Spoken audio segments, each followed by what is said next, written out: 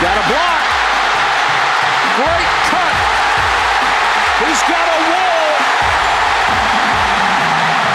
Williams to the 10 5 touchdown.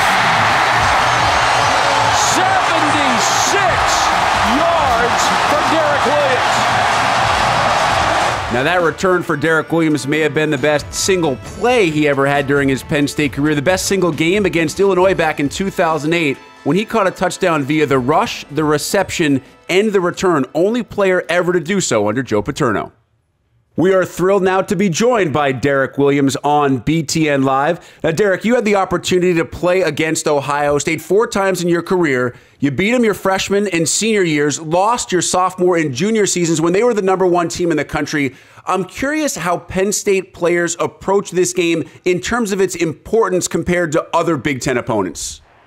Um, I'm thinking that uh, you know these guys they understand that when you're playing the Ohio States, when you're playing the Michigan, and really when you're playing everybody in the Big Ten, uh, you know you're playing against the best talent around. Especially with Ohio State, you're playing with you know all the future NFL draft picks. Uh, you're playing with guys that you're going to see playing for 20 years after they get out of college. So it, it's kind of like a, a, a sense of importance that uh, this is the game that you want to shine uh, with the team. This is the game that you want to win. I was fortunate enough to come in with the winning streak with uh, Ohio State and lose and you know leave out with beating Ohio State. So you know I'd rather take those years than the middle years.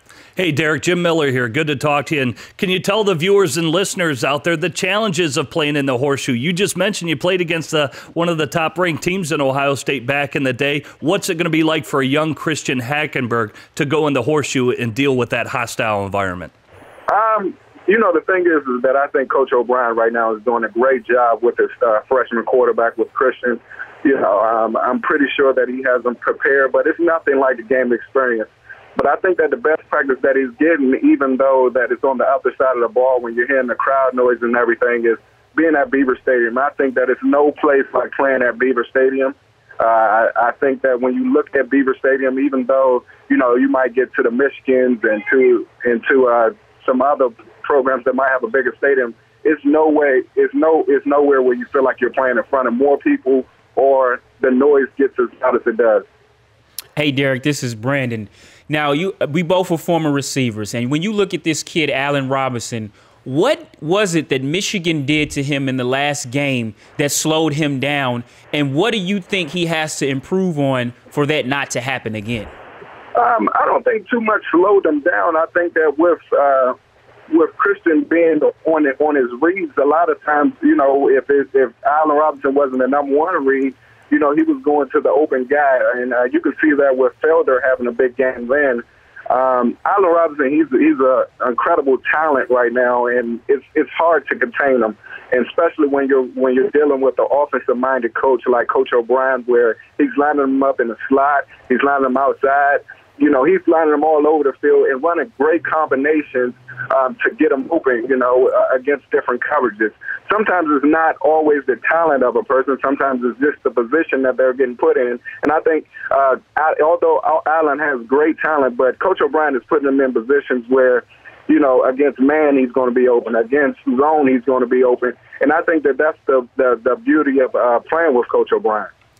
Well, Derrick, let me follow up on that. I know you put up some pretty good numbers during your time in state college, but do you ever watch this offense and think about what those numbers would have been if Bill O'Brien was the offensive mind behind things when you were in state college?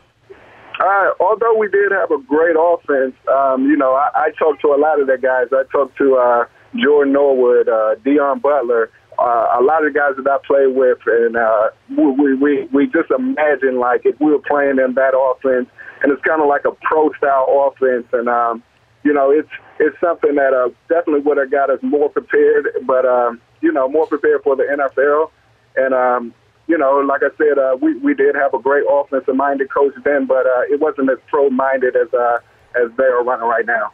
Well, Derrick, it, it's Jim again, and I'm going to be biased and say I think Michigan State's your biggest rivalry because of the Land Grant Trophy. but let me let you have center stage. Who do you view as Penn State's biggest rivalry? Is it Ohio State? Is it Michigan? Is it Michigan State? Who in your mind? Because this is such a big game this weekend.